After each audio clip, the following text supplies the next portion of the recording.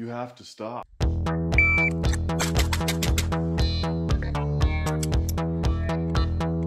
One six one.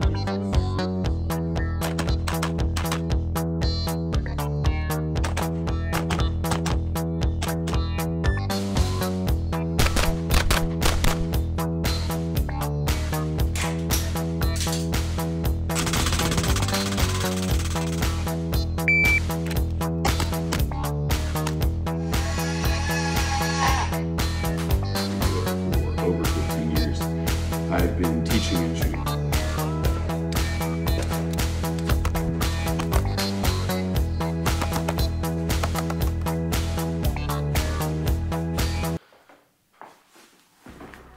All right, gun guys. Everybody out here shoot like this. It's not doing anything for you. I want to teach you guys the torque grip, where I learned it, and the why behind it. So, I learned it from Orion Training Group in mid 21, and I took a performance handgun class from them. It was awesome. Will was the main instructor on it. Right off the bat, I was doing this thing, thinking I was going to shoot at a high level, and he stood next to me and he said, "We're going to change that." I said, "What are you talking about?" You know, I've been shooting a long time. I've won lots of different competitions and stuff. Um, always thought that I was kind of in the upper middle of the pack, and this got me to the next level. So he stood next to me and he said, We're going to change that. And he told me to torque it back and stick my left thumb up.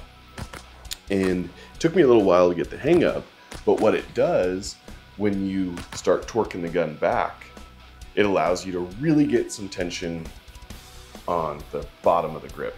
So the lowest fulcrum, we're able to lock in on now.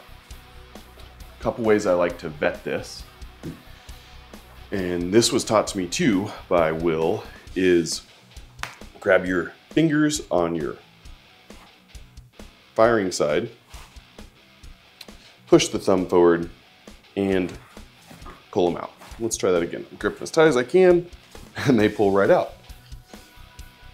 Now I'm gonna do it neutral. Can't. You gain a ton of strength from going here to here. So we're on the gun, torquing back, I'm staying neutral.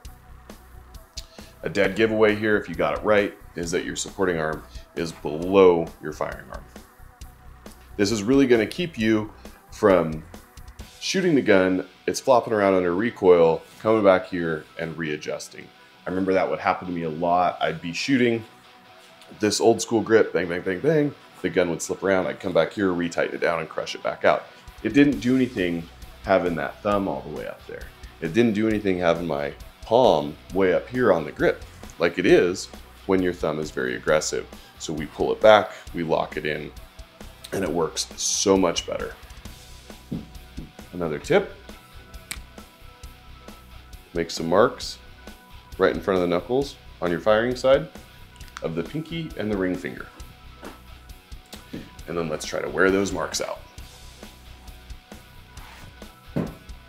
That's good contact, good strength, good activation.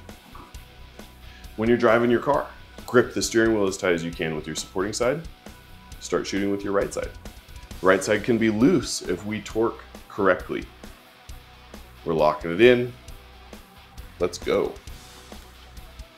Double handshake. Shake your friend's right hand, shake your friend's left hand. Tight left, send them on the right. Okay? It's gonna help you. Next thing, upper body position. Stop putting your head down and your eyes up. Do it right now while you're watching the video. Just drop your head down, keep your eyes up. It's strenuous. You're starting to lose vision. Keep your head neutral. Keep your shoulders kind of neutral. I shrug when I want to grab the gun, and then my shoulders drop back down.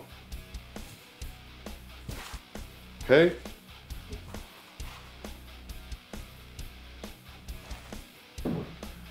It's really it.